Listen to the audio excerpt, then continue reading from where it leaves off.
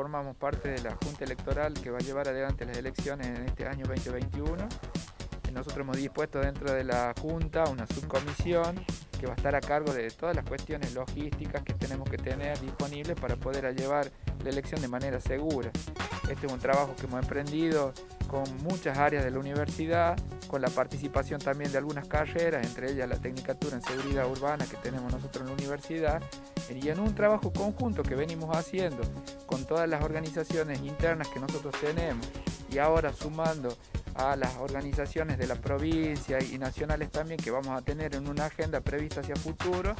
Hoy le pedimos al doctor Eduardo Bazán, que está a cargo de la Dirección de Epidemiología del Ministerio de Salud de la provincia, que nos acompañe y que nos dé su mirada en todo este trabajo que nosotros venimos realizando y que de alguna manera él les va a dar, digamos, un poco más de detalle, pero es un aporte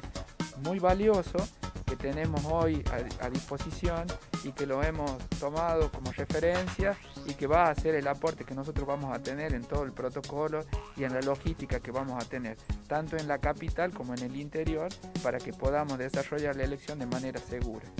Recomendaciones, se estuvo analizando la posibilidad de, hacer una simulación previa, de hacer un análisis del comportamiento y de la aceptación del plan de, las personas que van a participar del evento. Después también eh, tener una perspectiva epidemiológica en cuanto a la planificación. Eh, eso, eh, digamos, relacionado al riesgo que hemos tenido con respecto al virus de la pandemia, ¿no? donde mayores de 50 años son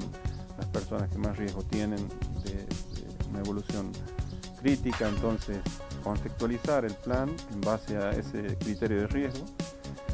y poder adecuarlo eh, de esta manera. Entonces, la verdad que,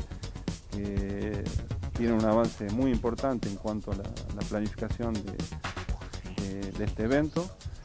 Va a ser muy importante también que este evento pueda dejar información valiosa, se pueda documentar todo lo que se vaya a realizar en el evento, porque va a ser de material de consulta para todos los eventos posibles que pueda tener la provincia e inclusive el, el país. ¿no? Entonces,